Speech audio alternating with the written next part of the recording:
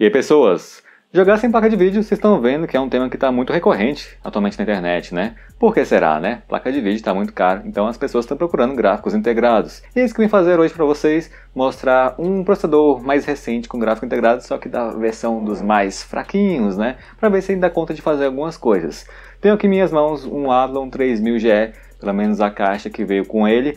Esse é um processador que fica em torno de 350 a 400 reais, que não precisa de placa de vídeo, tem dois núcleos e quatro threads, então é um processador bem simples, mas que vai servir para fazer tarefas de escritório, né? Você navegar na internet, fazer algumas tarefas do Word e também jogar às vezes alguns jogos mais simples. E a gente vai conferir logo mais quais jogos você consegue jogar e quais jogos você não vai conseguir jogar muito bem. E esse vídeo aqui só existe graças a Buiachaca Informática, loja parceira aqui do canal. Mandaram também fonte e memória para mim. Logo em breve eu estarei testando. Então confira lá Buiachaca Informática. E não se esqueça de deixar o like, se inscrever no canal Vamos logo ao unboxing e depois mostrar para vocês os testes em jogos.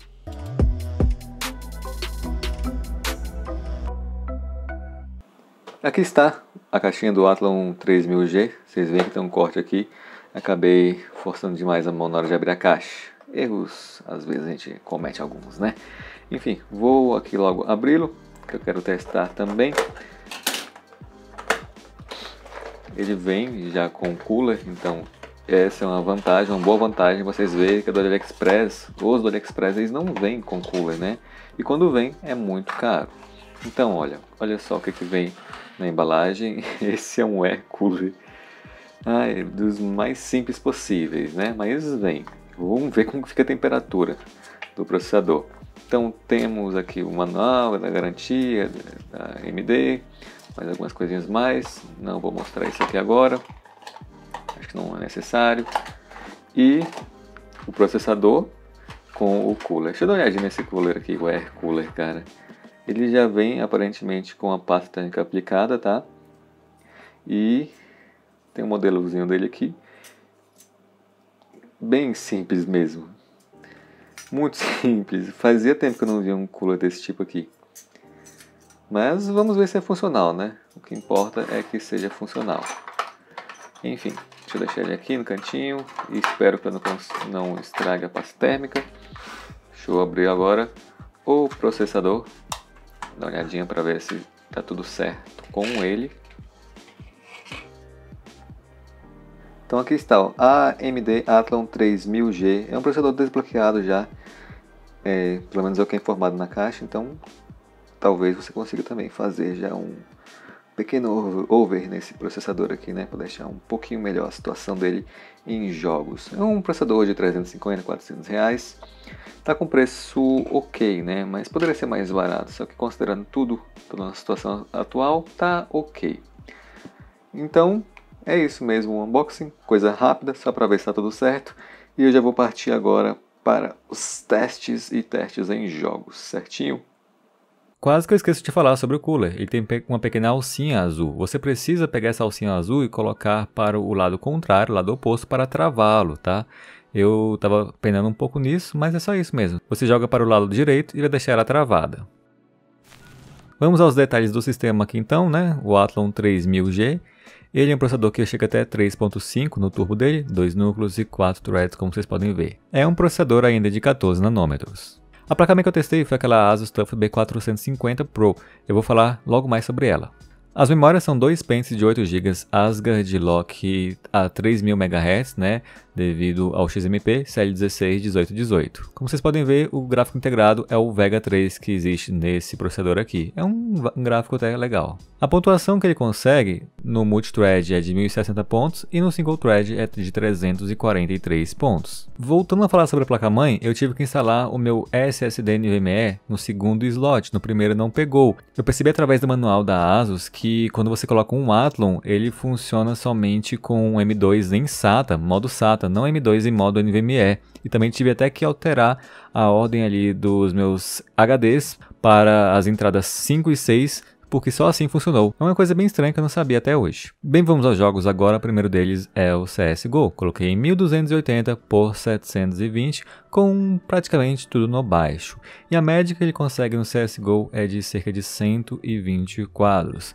A temperatura, vejam só, bem bacana, ainda mais com esse cooler aqui, eu achei que seria até mais alto, mas o processador é, é, bem frio, né? 50 graus mesmo com um air cooler bem simples como esse. Então, a meu ver, você não vai ter problema ao jogar com esse o cooler aqui, né? Esse air cooler aqui, mesmo sendo simplesinho, tem uma boa temperatura, 49, 50 graus em jogos. Em relação ao uso do processador, né, vejam que ele fica com 60% de uso aqui no CSGO, um uso ok. Já o uso da Vega 3 fica em torno de 79 a 80%.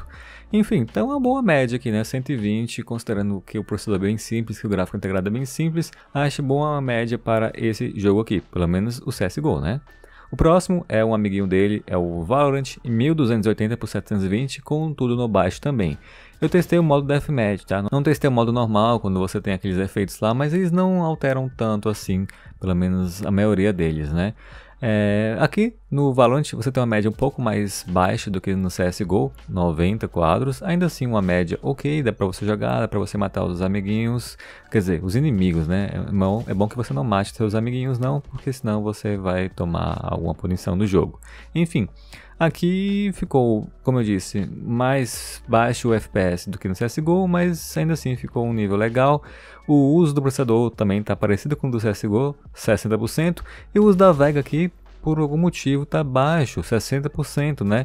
No CSGO a gente está vendo o uso maior da Vega. Achei estranho, mas tá aí para vocês também, quem se interessar. É a temperatura, né? 47 graus também, 47, 50 graus é a temperatura que eu achei para esse processador aqui na maioria dos meus testes. Testei o Fortnite também. O Fortnite foi em 1280 por 720 no modo desempenho, tá? Uh, não sei se vocês conhecem aí, é aquele modo diferenciado lá que eles liberaram agora. Nesse modo desempenho ficou com a média de 90 quadros por aí. Vai depender muito se você estiver é, fora da, das casas ou dentro das casas. Né? Dentro das casas vai subir mais, mas eu preferi mostrar os dados fora das casas.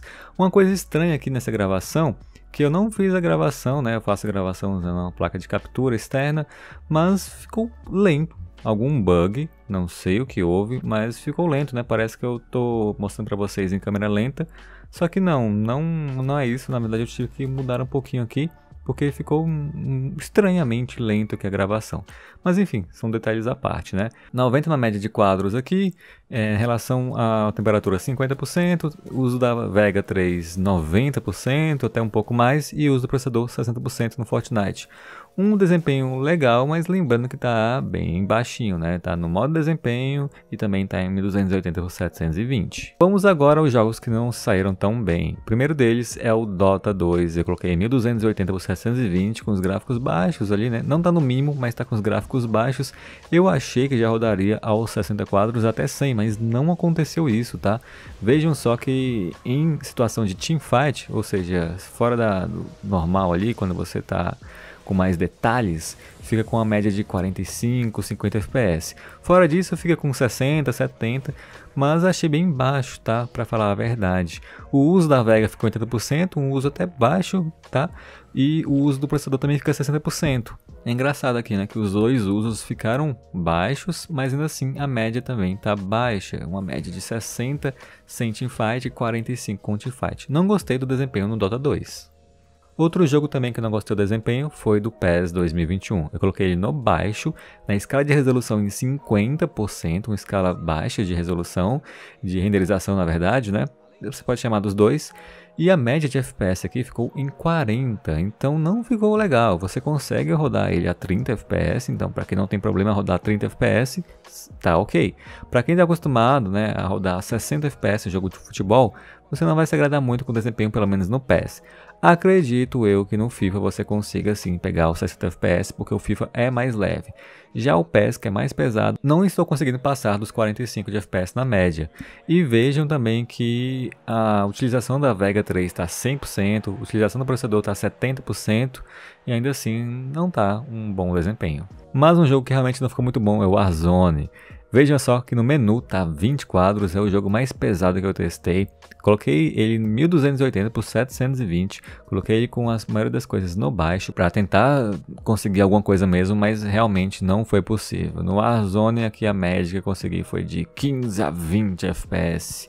Deixar para vocês uma situação que eu tentei matar uma pessoa, mas cara, eu sei que eu sou ruim, mas aí ficou demais, né? Realmente Desse jeito aqui, eu acho que está muito ruim para jogar, pelo menos esse jogo, esse Warzone, né? Os três últimos não ficaram muito bons, mas realmente o Warzone ficou bem ruim mesmo para tentar fazer qualquer coisa. É, se você conseguir matar alguém no Warzone dessa forma aqui, você é um player muito dos bons, tá? Porque realmente fica complicado. Então, Tá aí para vocês, né, o desempenho do 3000G, pelo menos na maioria desses jogos aqui que são mais comuns aí.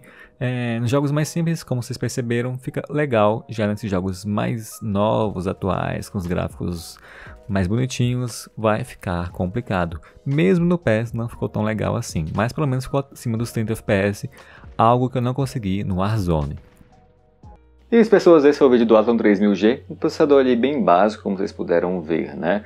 Não considero um processador bom para quando você quer jogar jogos mais pesados, é mais jogos simples e também fazer tarefas básicas. Caso você queira algo mais, você vai ter que investir um pouco mais, como num Ryzen 3 3200 ou 2200. Infelizmente é isso mesmo. É, mas espero que vocês tenham gostado. Pretendo fazer vídeos e lives com esse processador aqui, com processadores com gráfico integrado em breve. Só organizar um pouco aqui das minhas coisas aqui em casa. Certinho? Mas qualquer coisa deixe nos comentários o que vocês querem ver sendo testado nesse processador, se vocês tiverem interesse. Eu vou ficando por aqui. Não se esqueça de deixar o like, se inscrever no canal e a gente se vê na próxima. Valeu, falou, tá muito barulho aqui. Tchau!